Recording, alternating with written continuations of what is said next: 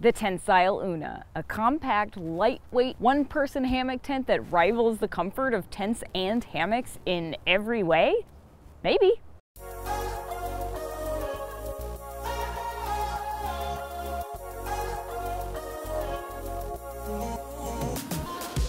That's right, we're back with another Tentsile review. Why? Because we obviously couldn't get enough of their hammock-esque tree tents, that's why. I mean, come on, just look at it. Do we even need another reason? In any case, we tested and reviewed the two-person Tentsile Connect tree tent this summer and loved it so much we had to figure out a way to get one for ourselves. But today, we're gonna be talking about Tentsile's one-person tree tent, the Una. What's so special about it, how we liked it, and whether it's worth the space in your gear closet. First of all, a bit about the Una. It's Tentsile's smallest, lightest, most packable lay flat hammock tent to date. It has a built-in zip-uppable bug net, a rain fly, even a special sleeping pad pocket underneath to keep your SkyPad insulated inflatable sleeping pad in place. There are three pockets inside, one on each corner by your head, plus a removable pouch and a gear net attachment underneath for stowing bulky gear like backpacks. And it's just the right size for one happy camper. How does it work? Kind of like a hammock, but also kind of like a tent. It hangs above the ground, like a hammock, obviously, except between three trees instead of two. That's what makes it slightly more tent-like. It lays flatter than a traditional hammock and offers a bit more elbow room, like a one-person tent, hence tree tent. You hang it using three included straps, which go around, ideally three trees that form a tidy little triangle. Can't find a perfect triangle? Fortunately, Tentsile's website offers several tips and videos for setting it up if trees are too close together or slightly misaligned or too far apart. You get it. Now, we won't go into every detail of how to set up the Una. Tentsile does a perfectly good job of that on their website, but because the instructions that come with the Una are a bit, well, lacking, we'll walk you through the basics. First, make sure the trees you're using to hang it are alive,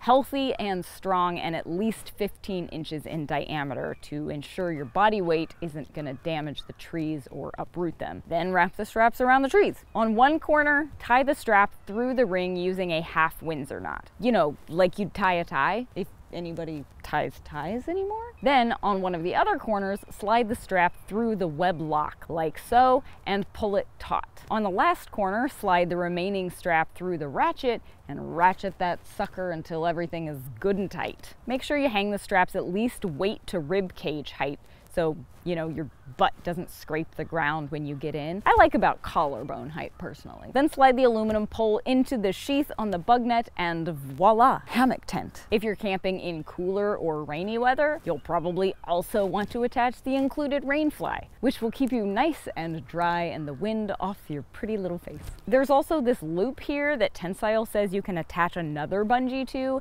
and tie it off on an overhead branch, but we don't usually recommend that sort of thing. You really don't want to bring a tree branch crashing down on you in the middle of the night. So if you're gonna do that to give yourself a smidge more separation between the fly and the mesh, make sure to choose a super strong limb. After setup, all that's left is to get it ready for sleepy time. Toss in your sleeping bag and headlamp and whatever the heck else you want in the tent with you. And don't forget your sleeping pad in cooler temps because it'll help with that pesky convective heat loss, aka cold butt syndrome. You can slide it in the special pocket underneath the Una designed for exactly this purpose, or because the SkyPad has non-slip grips on both sides, you can also just toss it in the hammock with you and lay right on top of it, and it won't go anywhere. I actually prefer to do it that way but to each her own. On that note, however, the co-branded Tentsile Klymit sleeping pad is pretty much the only sleeping bag that will fit in the Una. We were able to squeeze our rectangular Klymit sleeping pads in the two-person Connect, but that hammock tent is a lot roomier. There was still some overlapping of the sleeping pad, but it worked. In the Una, however, it's just too narrow at the tail end. Some hammock-specific sleeping pads might work, but rectangular pads are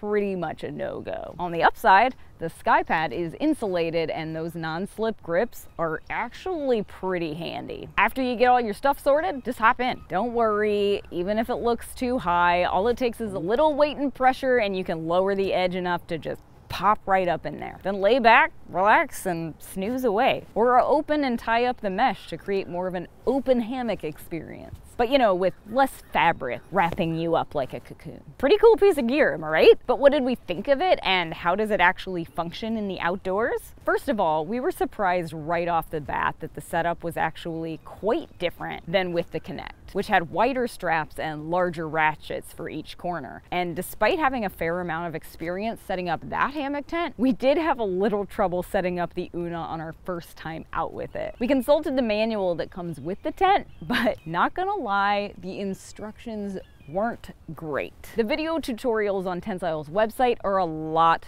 better, by the way. We had a little trouble getting the levels right when the ground was terribly uneven, leaving the mesh net kind of sagging a bit when we climbed in. Now, there are tags that are meant to help you with that, with the alignment of trees and straps, but they're only moderately useful at best. The second time we set up the Una though, and then every time after that, it was a lot easier. Probably because we had watched the videos online and actually knew how to do it properly. You still have to remember how to thread it through the web lock and how to tie that Windsor knot, but after you do it a few times, should be a piece of cake, which I would love right now. Can someone bring me a piece of cake? As for zipper placement, we found it a little unusual. The zipper runs straight down down the middle on the top of the mesh, which is kind of odd. When you unzip it, the mesh just sort of collapses on top of you. It's the sort of thing you'd eventually get used to. It was just something we noticed and thought was weird. I was also a bit concerned about the width of the straps that go around the trees. They're only about one inch wide, which is the absolute thinnest that straps should be when you wrap them around a tree if your goal is to protect the bark and the delicate cambium layer underneath. And it should always be your goal to protect the bark and the delicate cambium layer underneath. You can purchase tree protector straps separately from Tentsile, but that kind of defeats defeats the purpose of the Una being a small, packable sleep system. In any case, we would have liked to see slightly wider straps, say an inch and a half, and better setup instructions in the kit. Setup aside, while the Una definitely packs up into a nice tight little package, really no bigger than our two-person Big Agnes Tiger Wall, in fact, it's not super duper light. Tentsile may advertise it as a backpacking tent, but to be honest, it's a bit on the heavy side at just just under four and a half pounds for a one person setup. Don't get me wrong, it sure beats the previous generation, which weighed in about seven-ish pounds, but considering my Kammok Mantis backpacking hammock weighs under three pounds and the Tiger Wall two person tent I just mentioned weighs two and a half, four and a half seems pretty dang hefty for one person. But I'm pretty small and I tend to count ounces when I'm backpacking like my life depends on it. So if you don't mind a little extra weight for a comfy space to sleep, go for it. Just don't expect an ultra light tent here. But what about actual use and comfort? Why pick the Una over any other hammock or even a tent? Well, for starters, it really is the best of both worlds. You're off the hard ground like in a hammock, which many people find more comfortable as there's little to no pressure on your back and shoulders and hips and whatnot. Personally, I love sleeping off the ground for that very reason. It's just so dang comfortable. And when you're camping in a rainstorm, sleeping off the ground is the way to go. No chance your hammock is gonna get flooded here. But people who don't like sleeping in hammocks often say it's because they can't sleep if they're not laying flat or they don't like not having any elbow room or space to move around. Well, Tentsile solved all of the above problems. You're off the ground on a sleeping surface that gives enough under your weight to be uber comfy, but not enough that you're folded in half like a banana or wrapped up in a burrito like you might be in a hammock. Plus, you still have plenty of space to wriggle around and store stuff inside the structure with you, even sit up and hang with friends. And there was a fair amount of storage space inside the Una. Corner pockets proved very useful, and I was even able to shove a few things down in the tail end by my feet. Bulkier items I stashed in the mesh pocket underneath the tent, and plenty else could be clipped to the straps outside via carabiners like shoes and stuff. The only thing I found frustrating was the little removable pocket pouch that seemed like it was meant to hang from these loops here, but when you do so, the pouch dangles right on top of your face. I tried moving it to different spots and found that it could attach to loops on the floor above my head, but it still didn't leave a lot of space between my person and the stuff inside the bag. There wasn't a lot of vertical headspace either. In most tents and hammocks, you can sit up to sort of sort yourself and your stuff out, but even as small as I am, there wasn't much room to do much more than just prop myself on my elbows before my head hit the mesh netting. Once comfortably situated though, the Una was as comfortable as I expected. I slept comfortably and cozily in cool fall temps and felt entirely protected from the elements with the rainfly on. I did appreciate being able to stretch out my arms and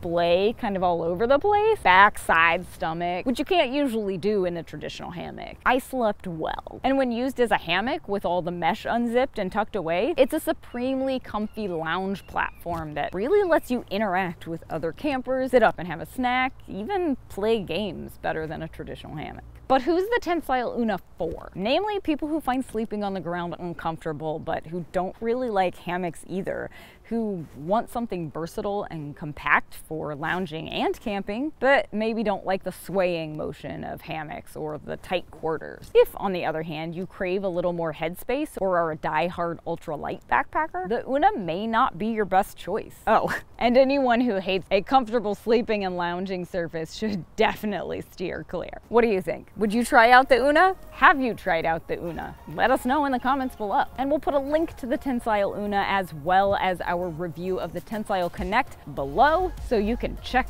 both of those out. And make sure to hit subscribe and ring the bell so you don't miss any of our future gear reviews and outdoorsy updates. And come be friends with us on all of the social platforms. We are at Terradrift on Instagram, Facebook, and Twitter. And for even more sustainable and outdoorsy content, head over to terradrift.com where you can read destination guides, reviews, spotlights, and more. And as always, thanks for watching. Now go sleep in some trees and wander on.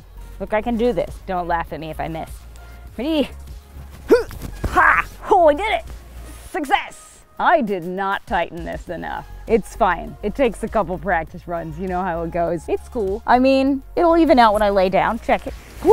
Oh, oh, I went sideways. Nope, I didn't hang this well. Nope, I'm just gonna lay like this so it looks like I knew what I was doing when I hung this up because I don't want to undo it. yeah, this is, I did not do this well. It's very comfy, very soft fabric. I could sleep in this. And I have, and I did, and I will again. Past present, future tense.